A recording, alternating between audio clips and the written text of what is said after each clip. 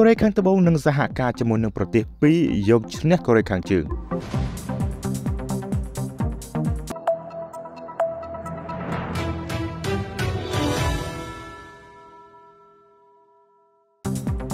ប្រធានាធិបតីកូរ៉េខាងត្បូងលោកយុនសុកយុលបានលើកឡើងថាកិច្ចសហត្រីភាគីរវាងប្រទេសកូរ៉េខាងត្បូងអាមេរិកនិងជប៉ុនគឺជារឿងសារៈសំខាន់យ៉ាងខ្លាំងដើម្បីយកឈ្នះការគំរាមកំហែងពីអាវុធនុយក្លេអ៊ែរនិងមីស៊ីលរបស់កូរ៉េខាងជើង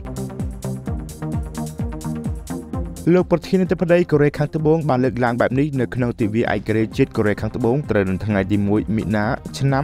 2023នេះគឺកូរ៉េខាងត្បូងបានប្រារព្ធធ្វើឡើងជារៀងរាល់ឆ្នាំដើម្បីប្រឆាំងទៅនឹងការត្រួតត្រារបស់ជប៉ុនដែលបានគ្រប់គ្រងទៅលើកូរ៉េខាងត្បូងនៅក្នុងរវាងឆ្នាំ1910ដល់1945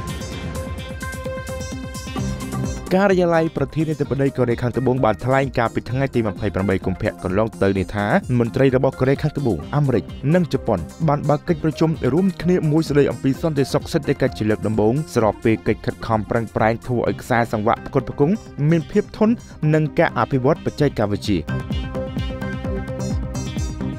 បើទោះបីជាជប៉ុននិងកូរ៉េខាងត្បូងជាប្រទេសជិតខាងដែលមានគំនិតខុសគ្នាយ៉ាងណាក្តីក៏ប៉ុន្តែប្រទេសទាំងពីរក៏នៅតែរួមសហការជាមួយនឹងអាមេរិកក្នុងផ្នែកជាច្រើនដើម្បីប្រឈមទៅនឹងស្ថានភាពតានតឹងនៅក្នុងពិភពលោកបច្ចុប្បន្នក៏ដូចជាប្រឆាំងទៅនឹងអធិបុលរបស់ចិននិងកូរ៉េខាងជើងដែលគេមិនអាចទស្សន៍ទាយទុកមុនបានថាអ្វីនឹងកើតឡើងនោះឡើយ។